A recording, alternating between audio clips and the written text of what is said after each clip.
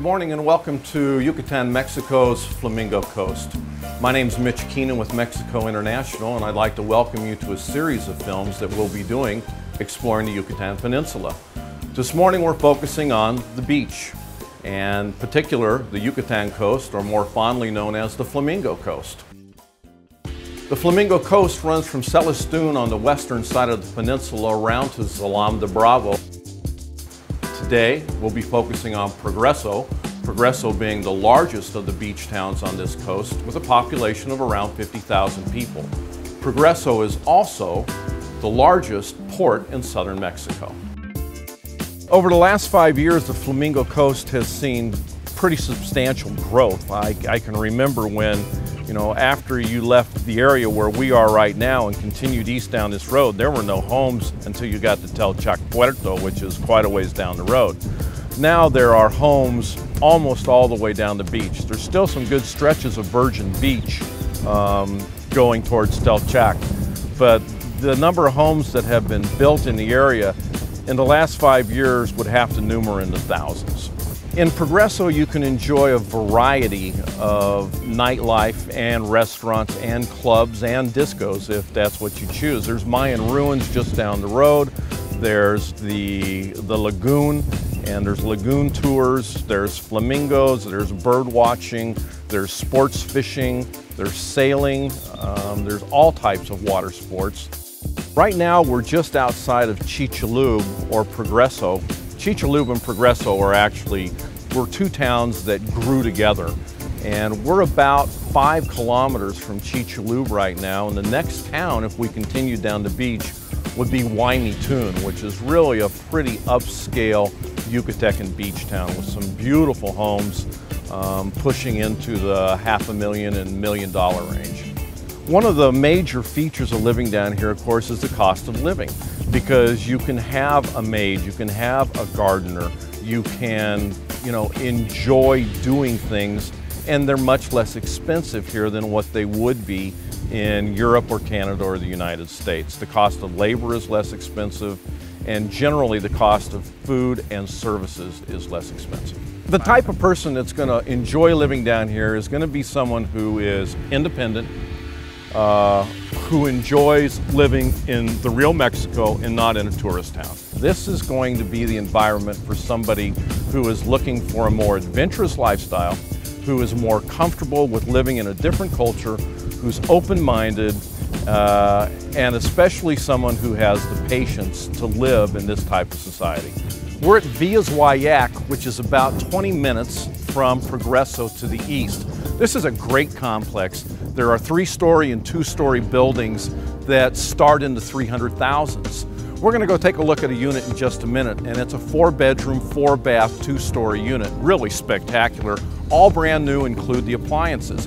As you can see behind me, there's a swimming pool, and there's four swimming pools in this part of the complex which are used by the residents. Okay, we're here in one of the two-story units. This is pretty raw still, and they're just finishing it.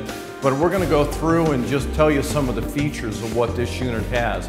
As you see, it's all recessed lighting, nice, big, open, living entertainment area, all granite tops, all nice solid wood cabinets, which open and close nicely. All the doors roll out nice and close nice and you've got nice space. There's no appliances in here now, but appliances are included with these units. Let's go upstairs. We're gonna go upstairs into the master bedroom first so you can see the types of views that they have in here. You notice that they put a sink here outside of the toilet and shower so that somebody could be showering and cleaning and you can still brush your teeth or wash your hands here. The great thing about these master units is they're pretty good size. They have connections for mini split air conditioning. It's not installed yet. And then you've got this fabulous balcony out here with great views of the water and the beach and your swimming pools.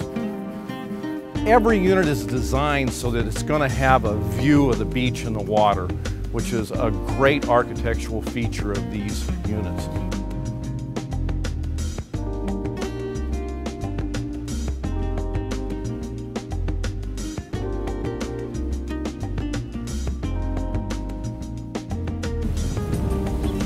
We're down in the heart of Progreso right now. We've decided it's time to get a bite to eat and have a few beers. So here we are at Eladio's typical Yucatecan food. Come on in and let's get something to eat. Well, we're here for lunch with some friends and some of my family. Um, this is my son Alejandro, nice to meet you. my daughter-in-law Lucy. This is my son Ramon, and this is my friend Rob, My name is Raul. who's also part of our film crew. Typical Yucatecan beach lunch. And we're gonna start with a michelada, Exactly. okay? And I'd like a michelada of Corona. Michelada is a beer that has Worcestershire sauce, chili sauce, lime juice. It's served in an iced glass with a salted rim. Great for a hangover and great for a hot day. Temperatures here are going to push into the hundreds, so it's time for us to cool down and have a few cold ones.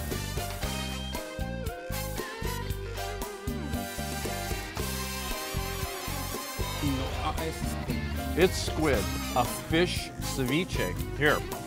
Um, and I love conch. Here they call it caracol. This is caracol blanco.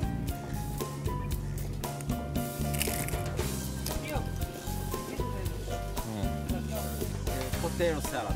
It's a potato and salad. salad with boquinete, and this is prepared in the typical Yucatecan style, deep fried. The boquinete is a very nice, flaky white fish, and right now it's crusty fried on the outside, and as you can see, it's just nice, flaky white meat on the inside. Okay. Lucy got sopa de lima.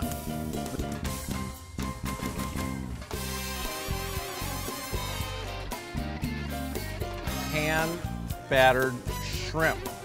We're outside of Eladio's. We've had a fabulous lunch, but we're going to continue on here. I want to say a few words about the pier that you see here behind me. Again, Progreso is the largest port for southern Mexico, and the pier that you see here behind me is four miles long.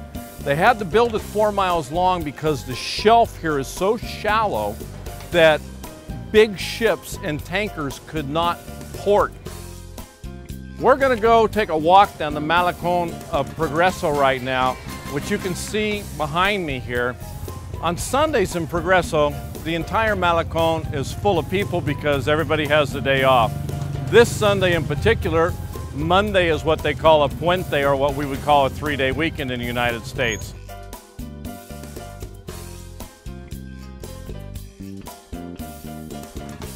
This is the way we really drink beer here. And usually you grab a caguama somewhere and you take it over to your friends, who I just spotted over here across the street. And we're gonna go over there with our friends and we're gonna drink this caguama. I saw you. So anyways, there I am with my friend Samuel and we're gonna enjoy this. ¿Quieres un parte? Tómalo! Yo sí. Yo sí quiero caguama, güey. Este es mi amigo Ernesto. Ernesto, mucho gusto.